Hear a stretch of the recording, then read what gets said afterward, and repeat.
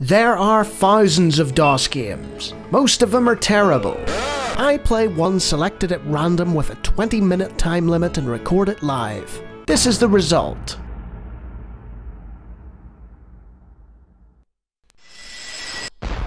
Cyberlore. Very fancy. Cyberlore Studios. Com apparently. Wonder if that website's still up. But here is the logo we wanted to see. The ever wonderful New World Computing, a division of the 3DO company. And uh, there's probably going to be a lengthy introduction, but the title speaks for itself. This is Heroes of Might and Magic 2 The Price of Loyalty. Uh, I feel like I missed a cutscene here. Okay. And we're in. And we've got a nice little menu. Oh, some beautiful CD quality music here. That's very nice. Now, quick preamble. I was a massive fan of the Might and Magic series of RPG games by New World Computing, but I completely suck at turn-based strategies. And this is a turn-based strategy of some repute, so let's see how we go, shall we? This will be an experiment and a half. I've set my timer now. Let's get cracking. New game. So we've got standard game, campaign game, and multiplayer. Uh, should we just try a standard game? We'll go with the original maps. Let's have easy difficulty. Uh, I don't know what this is here. There's there's a way to switch, I guess. Is that Oh, so you can have a an all-computer game. Is that what's going on there? No, apparently we can move the man to select our colour. I think. Maybe. He only seems to want to go to the orange one. So, let's just stick with that. And random classes, rating 70%.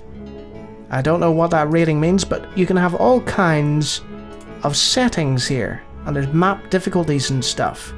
So let's go for one of the small maps. Hard, normal, normal.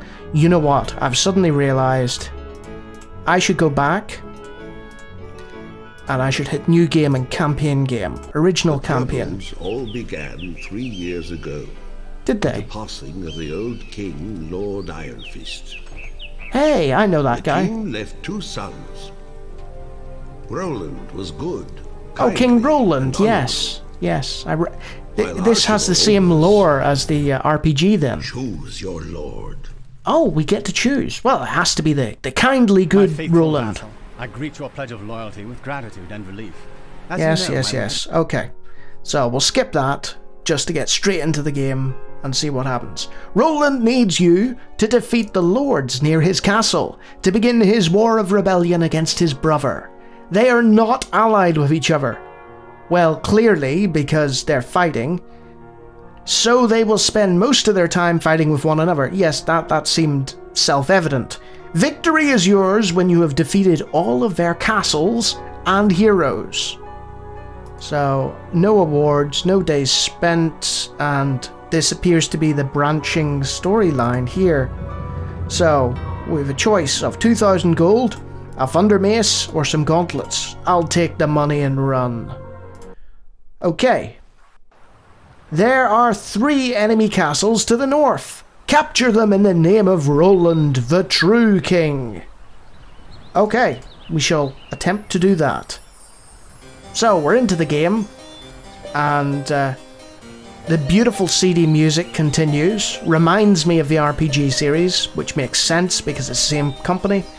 Um, we've got a little horse person here, and uh, presumably by clicking, we can move them to the appropriate bits. Now, there's some gold there, so double click to. Uh, you found a small quantity of gold. Okay, cool. Uh, apparently that requires two turns. So, what is this? Kalindra the Wizard. She's got spells and knowledge, and she has boars and halflings. So this is the person, the, the hero that we're in charge of. Okay. And then we can also click on the castle, I guess. Coraxton. Uh, so there's some sort of, I don't know, turn-based resource thing going on here. Uh, you've got a pile of resources. Uh, everything else is empty. Oh, we can recruit people. Alright. So, there's a little halfling hut there. So, recruit halfling. Presumably, as the game goes on, we can improve matters. Let's put our gold to good use, shall we? With 12,000 of it. So... Oh, there's only 8 available. So, we'll recruit them. And exit. Okay. I don't understand what happened there. So, we've got halflings there. Are they guarding the town? Can we can we not move them? Alright. So that button This is I mean it, it reminds me of something that has a lot of depth but is quite simple to sort of navigate and it's just a case of figuring everything out. Uh, so we got a kingdom overview. Uh, and we have an overview of towns and stuff. Halfling, we can dismiss from here as well, which is nice. Okay, that's just an overview button. That did nothing. There's no mouse over either, so uh, there's a save. That looks like a retreat button. And what does the time thing do? Right, that has advanced us today too. Right, I'll take that gold. Thank you. And we'll go to that fountain. As you drink the sweet water, you gain luck for your next battle. Oh, thank you. Uh, can we go back to the place and then can we... Oh, we can move. So we've upgraded her army.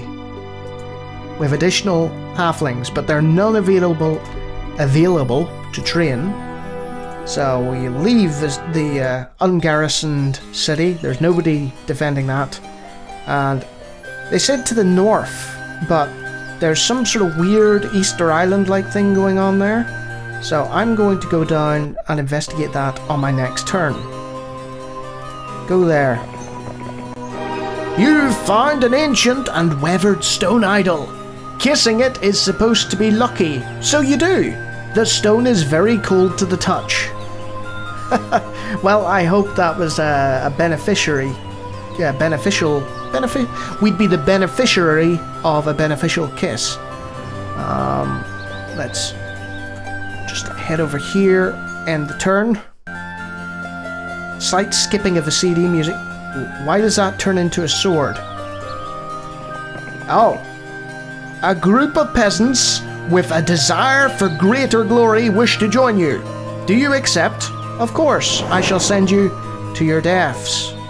What's this place here? Witch's Hut. An ancient and immortal witch living in a hut with bird's legs for stilts teaches you estates for her own inscrutable purposes. Now, estates sounds like. Oh, we got 46 of those guys that wanted to join us. Let's go here. Is is there a way of building estates or something? Oh, we, we can. So, if, if we exit that, you'll see here castle. We could recruit Fundrax the Barbarian. A level 1 barbarian with no artifacts. You are recruited, sir. Uh, he's got some goblins there, so is that some kind of mercenary?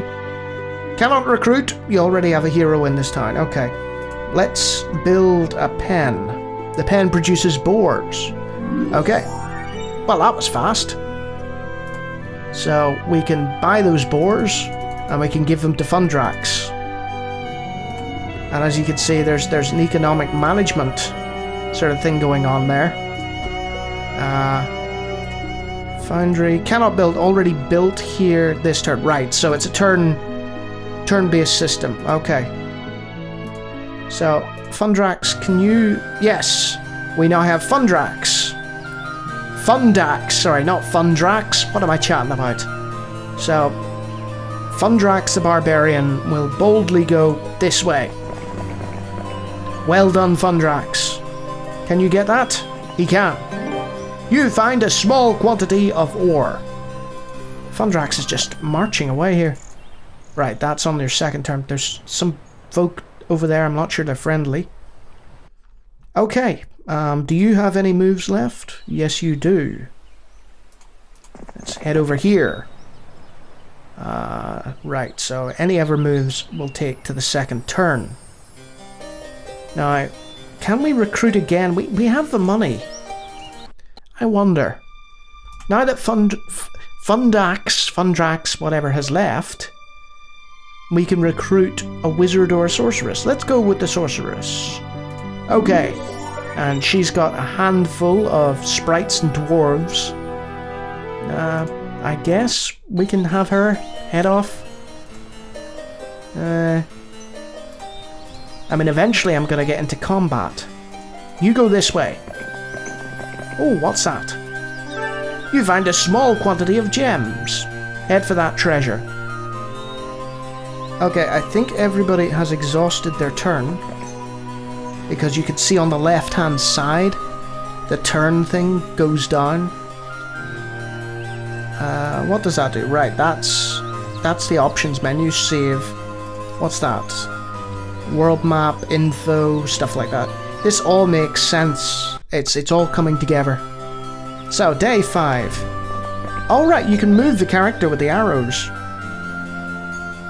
I thought you'd move the map, but you just sort of edge scroll with that.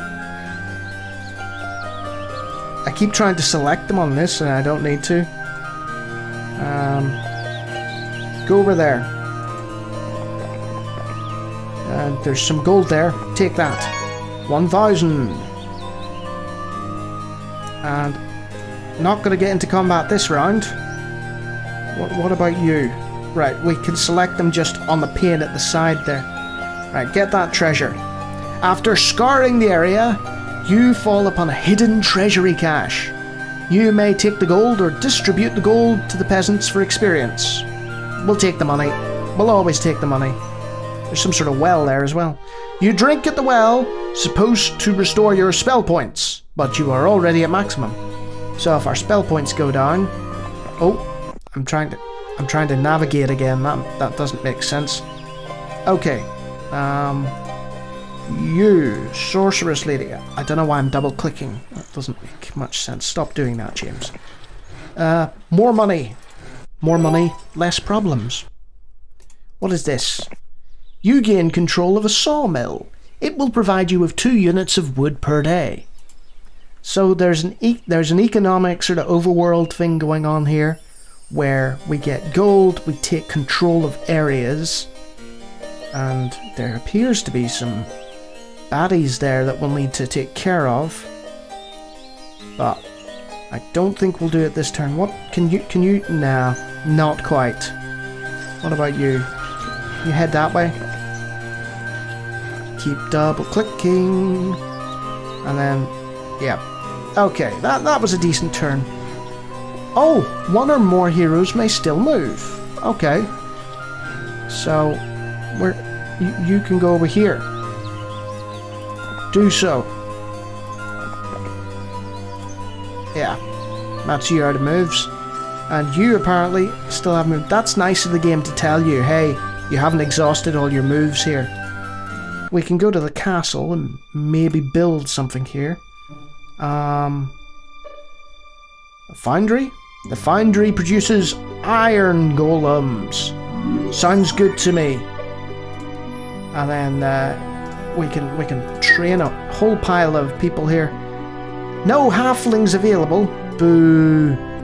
Uh, we can train some iron golems. And is there some boars as well? No, we've recruited all the boars. So is it just a one-off? This is interesting. Mandigal, come join our party and uh, take take these iron golems. We have use of you. Ma- Mandigal. Ma- Man- Mandigal, yeah, I got it right. Don't know if it's Mandigal or Mandigal or what. Mandigal sounds J- Dutch. Right, what what is that? Oh, you've you've exhausted yourself already. Okay, it's combat time. You. Right, what is this? There are a pile of goblins on one side of the map, and it looks turn-based. And there's our halflings and peasants. So we're in control of the boar. Ah, look at that nice little walking animation. And they're moving out. Oh no! Goblins do 11 damage. Good luck shines on on the boars. Alright, so the boars they're they're mostly fodder, but you know, they can they can handle it. Shoot the goblins. Sounds like a plan. And luck will shine on us as well. Oh, what a shot. 37 damage. So take out that thing, yes. Alright. And then the peasants, they can't shoot. So they they can't move much either. Right. Just you head over there, son. Um Right. Is is there a way to select oh right. It automatically goes to the unit that uh, you have control of. Oh no! Hey, a good counter-attack! So, he only gets one counter-attack each go, presumably? Can you shoot from there? Sort of? And luck shines on him again! And it's a good shot. It really is. And take him out! Oh no! Our peasants! Our peasants are done. Boar! Go over there. Uh-oh. Yeah, those halflings aren't uh, aren't meant to do much. So we have options here. We can cast a spell, retreat, heroes options, cancel. Let's see what spell we can cast, shall we? Cast a spell. Stone Skin. On the halflings. There we go. So, their defense is up. But it won't matter, because it's a great shot! A glorious victory! For Valor in Combat, Kalindra receives 120 experience. So, our, pez- our peasants perished, but we took out, like, a whole pile of goblins. Now, they were guarding something there. Let's have a look at that. You gain control of an ore mine. It will provide you with two units of ore per day. So they, they were guarding an economic resource. Now, she has a limited number of people. So I think discretion here is the better part of valor. I'll send her that way. Right. Now, let's have another combat. Ah, maybe this is a bad idea. That's a, that's a lot of men. Uh, do you do you have magic? No. So he can't cast spells because he's a barbarian. Okay, this should be interesting. Uh,